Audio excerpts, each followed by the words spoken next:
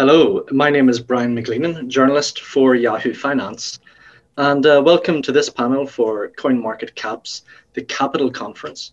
And today we'll discuss the potentials of liquid staking. So, a little preamble here. In the face of limitations surrounding both self staking and exchange staking, liquid staking comes as an innovative alternative to sidestep risks associated with illiquidity, complexity, and centralization. In this panel, we will discuss the current status of liquid staking in the industry and what role it can play in the future. So today I am joined by panelists Amitej Gajjala. I think I've said, if I get the names wrong, you said it. You said it right. Said, you, oh, just to simplify, you can make it Amit. Oh, Amit. Okay, so Amit is the CEO and co-founder of Stader Labs. And I think we're also joined by Kelvin Lam, project lead at Athos Finance and Linear Finance. If you say hello, Kelvin. Hey guys. Cool. Nice being here. Uh, great, great to see you. And also we may have Torab Torabi, head of partnerships at BD at Marinade Finance. Do we have has Torab come on? No. Okay. Well, anyway, let's actually just get started. Okay, so we've got half an hour and then we'll, have time for a Q&A at the end and uh, that will be coming in through our social media platforms. So I would actually like to turn to Kelvin first. And Kelvin, if you could just, it's really simple just to lay the groundwork for the audience here. What do we mean by the terms liquid and staking? And then if you join those both together, we get liquid staking. And what does that mean yeah. also? Very very basics but like if you could just sort of sum that up and then we'll get started. Sure. Like for me right for liquid right essentially i think it means like liquidity of an asset right? Basically the ability for you to move it around to use it for different purposes right? Whether you use it you know on different on a protocol uh, you, are buying it selling etc being able to you know do it in a quick speed right? That's the liquidity of, of an asset right?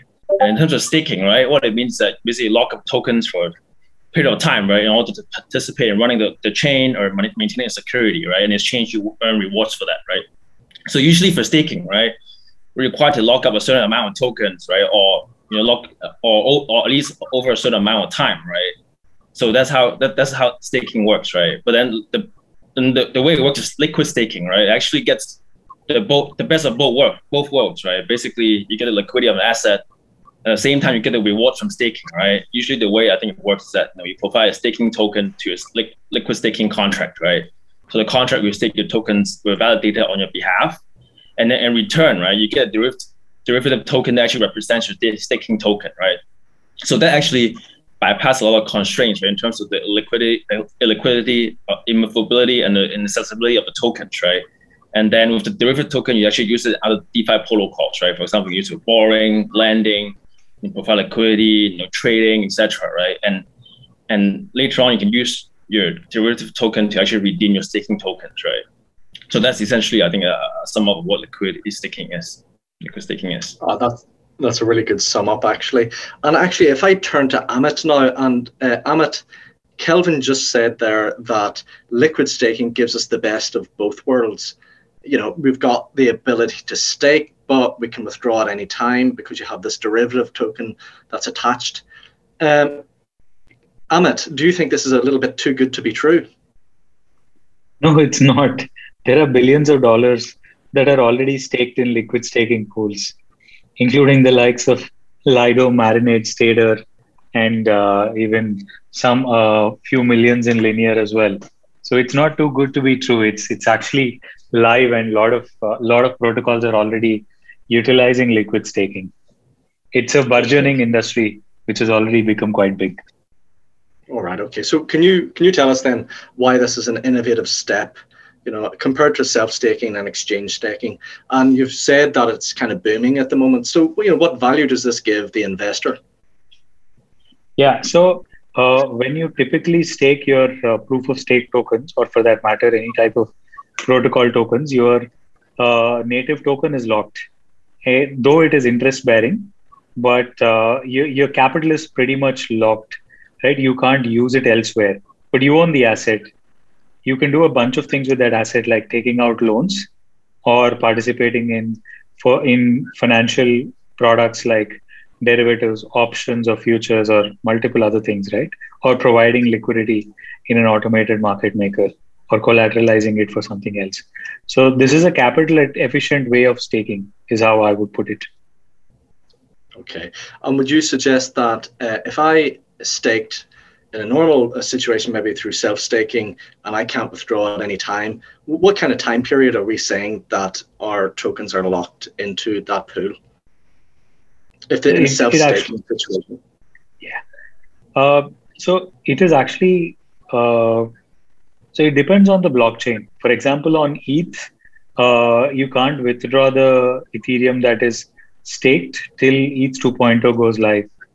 But on the other blockchains that are uh, slightly younger, like Solana or for that matter, any of the Cosmos slash Tendermint based blockchains, the time period is within like a few days to a weeks, a few weeks. On Solana, it's about three days. On uh, Tendermint based, based blockchains, it's about 21 days, while on Polygon, it's about two to three days. Okay, okay. So, but the alternative is to use liquid staking, and you say that that to- token will hold its peg one to one with the original cryptocurrency that has been staked. Is that would I'd be right in saying that? Uh, so there are even the liquid staking has evolved. The designs have evolved. Initially, uh, the design was a one-to-one peg, while the volume of the liquid staking token was increasing day by day. But people have innovated uh, and one of the one of the most popular models of late is a token that increases in price compared to the native token.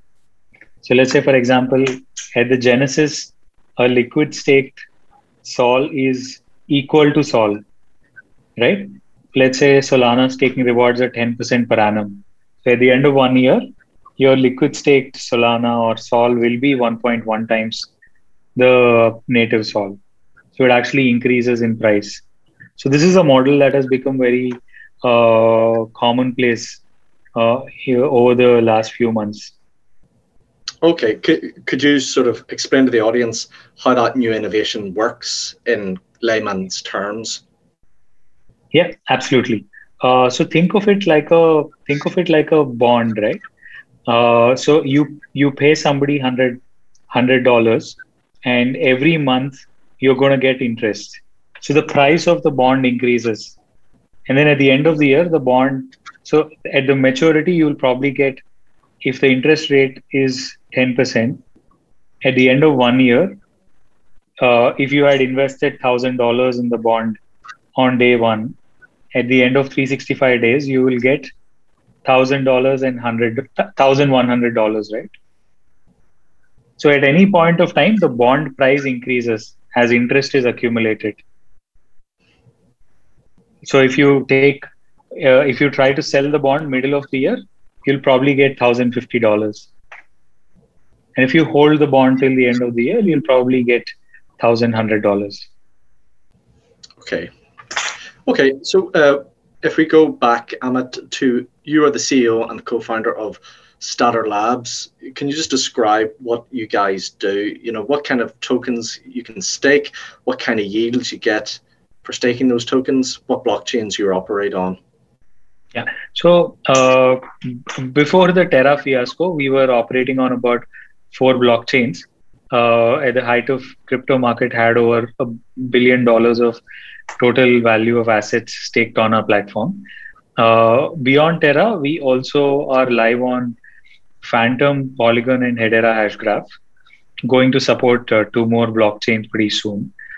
Uh, yeah, so these are the four assets currently, or three assets currently, users can stake on our platform.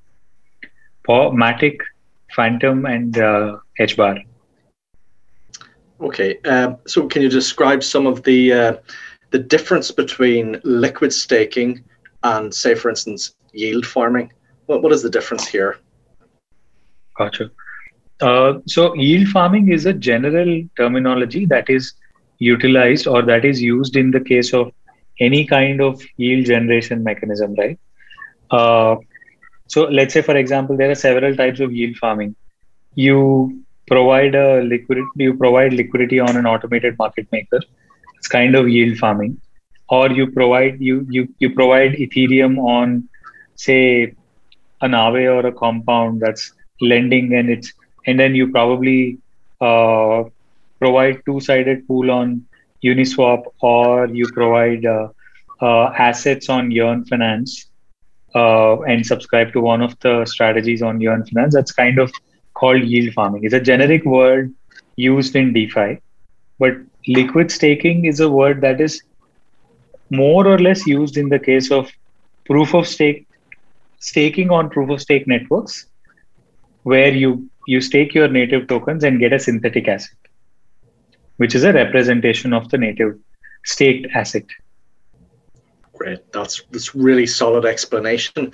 Now, actually, I think Torab has just joined us. Torab, if you want to just say hi. Yeah. Hey, everyone. I apologize for being late. We're actually um, I'm I'm head of partnerships at Marinade, as you can see from the shirt, and we're at our offsite in Italy. Uh, and we surprisingly have good Wi-Fi. It was just getting here, so I apologize for being late. No problem. So, Torb, you're head of partnerships and BD at Marinade Finance, and we're just asking people basically to explain what their protocol does and mm-hmm. uh, what you think is the big innovation of liquid staking and why you think that it's going to be have a lot of potential for the market. Yeah, so obviously there's proof of work, which is what Bitcoin and Ethereum currently are, and obviously Ethereum is moving towards proof of stake. And so what we do is we provide liquid staking uh, for Solana. So in a nutshell, what it does is it allows you to have a productive asset, right? So instead of your SOL sitting idly, you can stake it, but you don't need liquid staking for that. You can do that with a validator. But what we do is we allow you to be liquid, and that gives you two main advantages. Number one, you can trade in and out without having to to wait for the cooldown period. So in Solana, it's like three days. It's an epoch. So you, if you want to unstake, it would take about three days. So you have instant liquidity.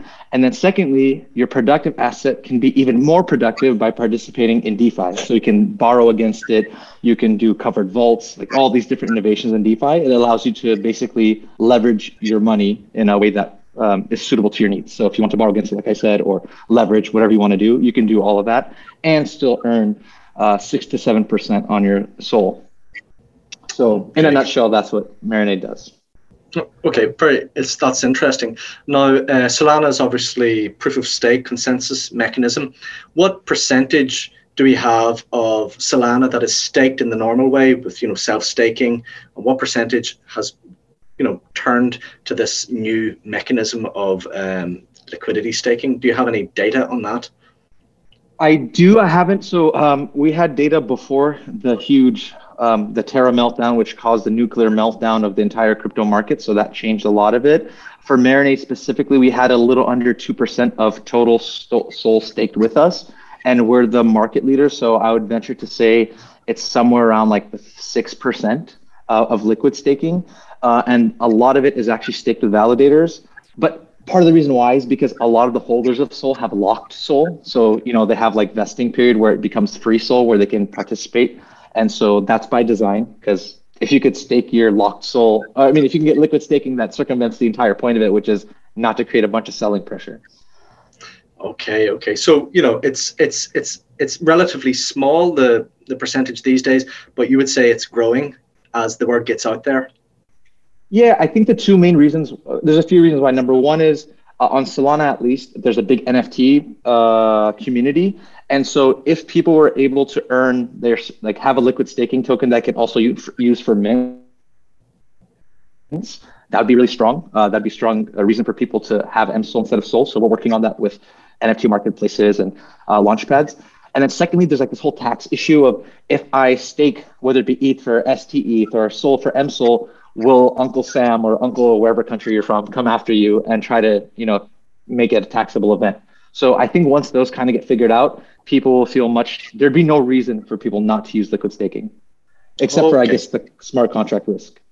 Okay, so just to get this clear, uh, people would fear unstaking their staked assets because that's a taxable event. So instead of doing that, they want to u- utilize uh, a synthetic token that's pegged to their staked asset. Well, the opposite. Okay, so if someone stakes their SOL with a validator directly and doesn't receive a liquid token, that is not a taxable event. But if they stake their SOL for MSOL, the, the synthetic liquid uh, asset, it would potentially be taxable. So it depends how aggressive your tax accountant is. Oh, okay, okay. Now, yeah. let, let's just bring in Kelvin here. Hi, Kelvin. Kelvin, yep. uh, so we're, we're, we're talking about like we're staking you know the difference between self staking and liquid staking is that you know you've got you can utilize the the asset you've got a synthetic asset that's pegged one to one with mm. your original cryptocurrency that is staked. Now, are there any risks associated with this? Like, are there any risks of that synthetic asset losing its peg to the original cryptocurrency that's staked? I think there's always risk, right? Every investment that you make, right? I mean, some of the risks that you can I can think of, right? Smart contract risk, right? Potentially, right? I mean, there could be bugs of vulnerabilities, right? Where you know the product could be compromised, right? And sometimes you know, uh, even then, right, you might not have you know any asset that's lost from the contract, right? But then you know, I think at the end, they trust also plays an important role, right? I think people think about, okay, if I put certain amount of assets in there, right, and then I return against synthetic, right, will I be able to get my return, right? In let's say six months or one year's time, right? So that's something that uh, uh, people would think about, right? So then when there's when the trust is there, right, then people will be comfortably trading in and out between the synthetic and the real token, right? But then when let's say uh, people have doubt in, in potentially the contract, the, the product itself, right? Then then I mean, then people will one way like there's a chance that people will be you know move, trying to get get off from the, from the, synthetic right to go in the real token right. And that's where you know, the pack could be under a bit of pressure right. So I think it uh, yeah I think a lot it will depend on trust. Uh, okay, yeah. so you got a, a, trust aspect. Kelvin, before we actually go on, because you haven't actually introduced what um, you're the lead at Athos Finance and Linear mm-hmm. Finance. Can you just explain yeah. what you guys do? That would be absolutely excellent. Um, sure. So, yeah. So so basically, Athos and Linear, right? Uh, uh, we're both uh, decentralized Delta One asset protocols, right? So while Linear Finance is already live on Ethereum and BSC, uh, Athos is going to launch on Polkadot, actually via Moonbeam soon.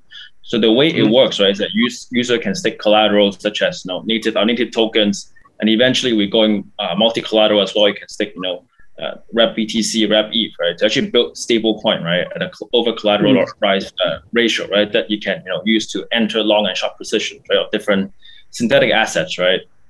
So these mm-hmm. assets, these synthetic assets, will actually track performances of another asset, right? That you know could be uh, within cryptocurrency itself, right, or it could be unrelated as well. It could be something like commodities, right.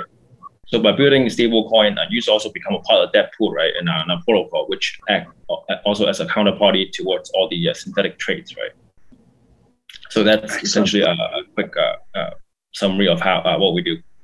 Oh, okay, okay. Let's bring in Amit here. Uh, you know, and uh, Amit, just when I'm talking to you here, uh, I just would like to know, on a macro level, how does liquid staking improve the the growth of proof of stake over proof of work?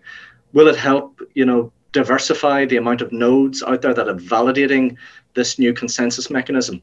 Uh, so I think it's, I think that uh, on this the jury is still uh, still out. I don't think it's a straightforward answer. Uh, what it definitely helps uh, the liquid stake uh, liquid staking helps in actually potentially decentralizing the network because when people self stake or stake with a particular validator, they typically tend to choose one of the top four or top five validators right? But uh, otherwise, if they actually choose to stake with a liquid staking protocol, the smart contract kind of uh, disperses the st- uh, the assets across multiple validators. So it kind of ideally it should help in decentralizing the network and dispersing the stake across several validators. So yeah, in a way, it could help in decentralization and also uh, reducing the concentration of power among the top validators. Yeah. So that's I what it just, potentially could lead to. Yeah, okay, I would just add, was, yeah. So when it comes when it comes to liquid staking, so liquid staking theoretically should help people stake because yeah, the first question is why would someone not stake? Right? The, if someone's going to hold the token, the reason why they wouldn't want to stake it is because they want to be liquid or they plan on using it. So liquid staking should take care of that for them because if they want to spend it, they can. But the second question, which is, does it help decentralization? The answer is it depends because if you use a liquid staking solution that only gives it to one validator or like two validators, you're concentrating stake. So at a macro level, you're actually not helping central. You're, you're actually centralizing. So um, I mean, for us, our ethos is decentralization, which is why I'm so passionate about what I'm saying. Because like for us, we split out like 450 different validators, but there's other liquid staking solutions which they only give it to like 22 or whatever, a handful of different validators, and so that creates its own uh, problems. Uh, right. Well. I I see. So in your kind of uh, the way you have worked out the governance of your protocol is that you are prioritizing decentralization. Yes, exactly. Because the thing is, it's one of those like uh, the free rider problem, where if everyone like picks up litter, but one guy just keeps throwing it. Like, yes, every per- every person can be individually selfish, but someone has to be looking out for the long term health of the community. And so that's why I think most chains are realizing and that they want to move towards decentralization, which is why you know the whole thing with Lido and everything that's on Ethereum because they have like what 80 something percent of all staked ETH is with Lido right now or something like that. So, yeah. Okay, uh, Torab, you guys are concentrating exclusively with Solana, or is that wrong? Yes, we're currently just focusing on one thing. Um, I always say, you know, when a place says they have the best burgers and the best ice cream, they usually don't have either because it's hard enough just to be the best at one thing. And so for us, we're just focusing on Solana, um, although we haven't closed the doors to anything else. But that's currently what our focus is. Okay, so you may move into uh, Ethereum staking whenever that comes big after Vitalik's big announce- announcement about proof of stake coming in August. And actually, I'd like to ask you as well do you think this is a definitive announcement? Do you think it's going to happen this August, the merge? Uh, I don't know. You know, they say uh, product plans and God laughs. So it's hard to say, you know, when they give a timeline whether they're going to be able to stick to it but I hope so. I think it's good for the ecosystem as a whole. Like I think crypto as a whole. Um, I'm not one of those like Solana's better than everything or whatever because at the end of the day, we're so early that we should. It's kind of like a bunch of teams and like the NFL. Like we should be rooting for the NFL even if it's not our team because it's just good for the brand. So that's the kind of way I look at it. That's great. Yeah, no, there's a lot of use cases. Everybody's kind of moving at their own individual goals, but we're all kind of lifting this ecosystem up together. I really like that. Now, can we move to Kelvin? Kelvin, can you describe? Uh, do you go for the? Sorry, yeah, Kelvin. Do you go for those big hitters like uh, Ethereum? Can we do liquid staking with Ethereum? And what do you think about Vitalik's announcement that there's going to be the merge happening this August? I mean, like Top to say, right? I mean, in terms of the announcement, I mean, it's good for the ecosystem overall, right? I mean, you know, I mean, moving from proof of work to proof of stake, right? But then of course, right? I mean, with uh, pushing out new product, but there's always, you know, uh, timeline. Sometimes uh, there's delays and things like that, right? But I think in general, overall, I mean, I'm sure the team is working really hard uh, to get that done. So uh, I think everyone's exciting, uh, excited, right? Uh, looking forward uh, for that to happen, right? Yeah. Okay, so uh, if the merge does happen this August, do you think there's going to be a like a massive sort of a, a, a big increase in the amount of liquid staking happening just because you've got like, you know, the whole Ethereum community uh, looking to stake their uh, their ETH? I would think so, right? I mean, think about. I mean, I think market cap right now for Ethereum was like 240 billion uh, dollars, right? So there's a lot of you know, mm. uh, uh, uh, that's that's not a small amount, right? I mean, look at you know. Uh, uh, what liquid staking can do, right? Essentially, you know, allows you to stake, right? To actually get reward Sorry, at the same just time. in. Yeah, so I mean, you know, with liquid staking, right? I mean, you know, you can get the reward at the same time still being liquid, right? I, I don't see why people will not stake, right? Like what Torab just say, right? So I think you know, that will actually unleash a huge amount of capital actually go into DeFi, right? And that will actually benefit other protocols as well. Uh, and you know, I think the question next is really, you know, who will be connecting the dots, right, with know, liquid staking tokens, right? How do you utilize it in other DeFi products? I think that will be, you know, uh, uh, that will be a huge uh, next step, right, for uh, the the whole community as a whole, right? You know, how do you connect the dots, the, the different building blocks, right, and put them together? Right? So that's how I see it. So it looks like we lost Brian, uh, but I would say that. Uh, well, I mean, did you have anything to add to that? So obviously, I think he asked me and Kelvin the same question. So kind of about your thoughts about the merge. No, I think uh, yeah. I mean, I kind of second your uh, opinion. The faster the merge happens, it just grows the proof of stake market uh, multifold, right? I think it's good for the ecosystem for sure. and a lot of people would be comfortable staking their ETH, knowing that they can always withdraw it. Yeah, I mean, I guess that was one of the issues, right? Uh, kind of that they ran into when the market nuked with the whole Terra thing is that um, STETH, well, ETH was trading at a premium to STETH.